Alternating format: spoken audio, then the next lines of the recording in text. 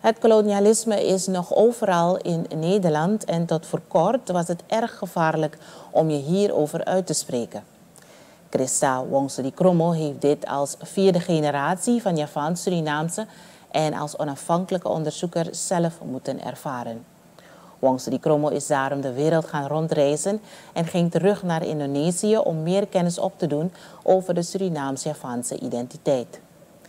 Tijdens de presentatie Globale Discoursen en Lokale Realiteiten op de decolonisatie afgelopen vrijdag in het Nationaal Archief liet ze weten dat haar poging om zich uit te spreken over kolonialisme niet zonder uitdagingen is geweest. Als onderzoeker heeft ze dreigingen van fysiek en seksueel geweld moeten doorstaan toen zij zich wilde uitspreken over het kolonialisme. In 2016 sloeg de Nederlandse geheime inlichtingendienst alarm en er vond een inval plaats bij een terrorist.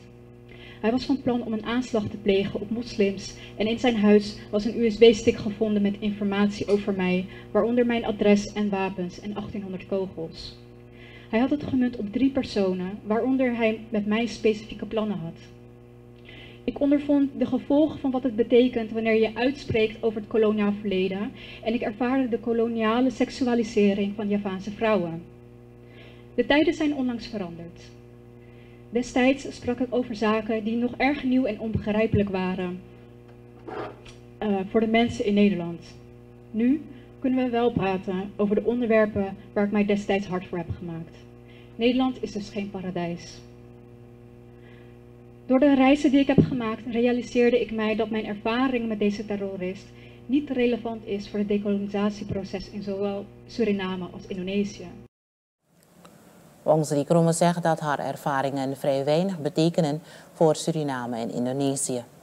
Hiermee bedoelt ze dat individuen soms dingen meemaken die erg traumatisch kunnen zijn. Toch is het op sommige momenten nodig onze emoties aan het kant te zetten om los te kunnen komen van het eurocentrisch perspectief en zodoende de juiste politieke analyses te kunnen maken. De onderzoeker benadrukt dat elk een eigen decolonisatiemodel moet kunnen opzetten. Probleem met de term decolonisatie is dat er geen vast theoretisch raamwerk uh, bestaat.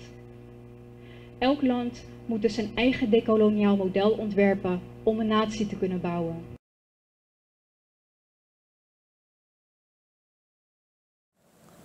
Wong deelt haar kennis over de Javaans-Surinaamse identiteit, kolonialisme en dekolonisatie door middel van gastlessen in Indonesië en de Verenigde Staten van Amerika.